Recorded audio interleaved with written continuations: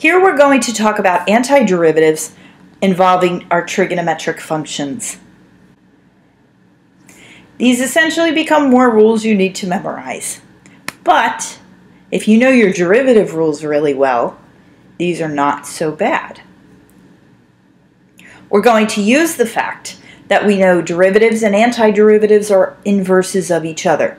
So if we want the antiderivative of sine of x dx, think to yourself, what can I take the derivative of and get sine as my answer? Hopefully you've thought of the fact if you did the derivative of negative cosine of x plus c, you get sine of x back. Now let's talk about why. Derivative of cosine is negative sine, so you end up with a negative times negative, which becomes positive, and you're left with sine of x. Notice how we still need our constant of integration, because there could have been a constant here, the derivative of which would be 0 and would zero out when you take the derivative of it. Let's consider the cosine function. Antiderivative of cosine of x dx. Think to yourself, what can I take the derivative of and get cosine as my answer? Hopefully you've thought of the fact that if you take the derivative of sine, you know that to be cosine. Therefore, the antiderivative of cosine of x dx is sine of x plus c. You're going to notice as we go through here, you are not going to see yet antiderivative of tangent and secant and cosecant. And think about why. There's no really easy function that you know of from your derivative rules that when you take the derivative of it, you get tangent, nor can you get just plain secant or cosecant. But think again of your derivative rules. If I wanted the antiderivative of secant squared of x dx, think what do you take the derivative of to get secant squared as your answer?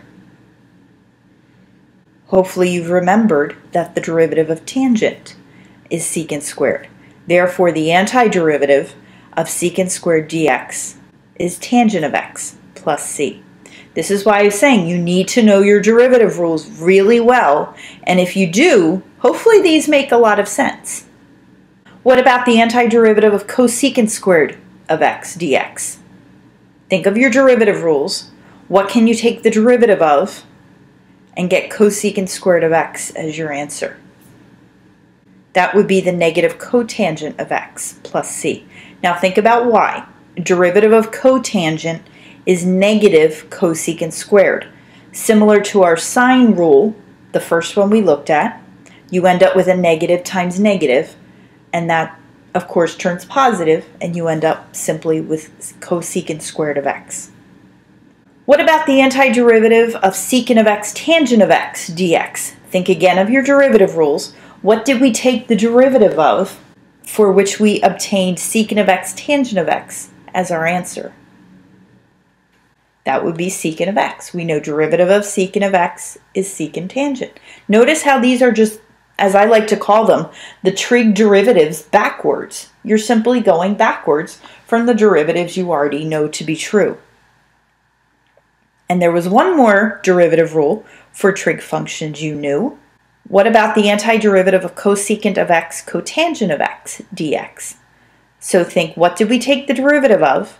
And we got cosecant cotangent as the answer. That would be negative cosecant of x plus c. This was another one in which derivative of cosecant of x was negative cosecant cotangent, so the negative times negative turns positive, and that's why you don't have a negative here in your integrand. Perhaps you remember back when we did derivatives, we had a little way of knowing which of our derivative answers were negative. And we said that if what you're taking the derivative of began with the letter C, then your answer was negative. Well, remember, antiderivatives are just going backwards. So here we have, if your antiderivative answer begins with the letter C, they are the ones that are negative.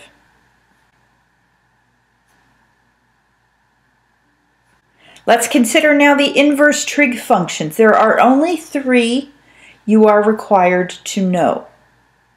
If we have the antiderivative of a function that looks like 1 over 1 plus x squared dx, that antiderivative is arctangent of x. And if you think of your arctangent derivative rule, it was 1 over 1 plus x squared. When doing antiderivatives like this, it's really a matter of recognizing the pattern of the integrand. So this is the first of the three inverse trig function rules you need to know. Second one is for arc sine, inverse sine. If you have the antiderivative of 1 over big square root 1 minus x squared dx, that antiderivative is arc sine of x plus c. The last one is for arc cosine, which is simply the same as arc sine, but negative. Think of the little hint I gave you. If the answer to your antiderivative rule begins with c, then it's negative. Well, think of this as cosine negative 1 of x. Then it begins with c. Otherwise, you'll notice they are identical to each other. Once again, when you're working with antiderivatives that are going to involve trigonometric functions, you often will have to rewrite that which is being anti-differentiated, the integrand, typically by using our Pythagorean identities. For example, if you wanted to do antiderivative of tangent squared of x dx, well think of all the derivative rules you know for trig functions, none of them deal with tangent squared. So this is a case in which you'd have to look at this and recognize the fact that you need to turn tangent squared into something for which you have an antiderivative rule. Remember the Pythagorean identity 1 plus tangent squared equals secant squared. Therefore tangent squared is secant squared of x minus 1. And we have an antiderivative rule for secant squared of x. So that's the trick and sometimes the difficulty when dealing with the trig functions. You need to be able to look at it and recognize that you do need to rewrite it by using a Pythagorean identity or one of the other trig identities.